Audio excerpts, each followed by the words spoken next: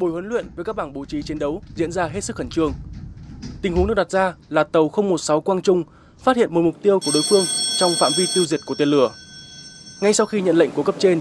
kíp sĩ quan chỉ huy tàu và thủy thủ có mặt ngay lập tức tại trung tâm chỉ huy chiến đấu. Toàn tàu thực hiện lệnh báo động chiến đấu cấp 1, chuẩn bị công kích tên lửa, chắc thủ radar theo dõi, tìm kiếm và nhận biết các mục tiêu cần tiêu diệt. Khi phát hiện mục tiêu thì chúng ta phải à, nhận định, đánh giá tình hình, sau đấy hội ý ban chỉ huy uh, ra hạ quyết tâm uh, theo lệnh của sở chỉ huy thì có hạ quyết tâm là tiêu diệt mục tiêu hay không. Cuộc hội ý chấp nhoáng của đảng ủy tàu hạ quyết tâm chiến đấu,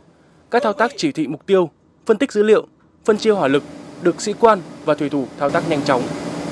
Tên lửa được phóng ra, mục tiêu bị tiêu diệt. Hoạt động công kích ngư lôi cũng được tiến hành tương tự.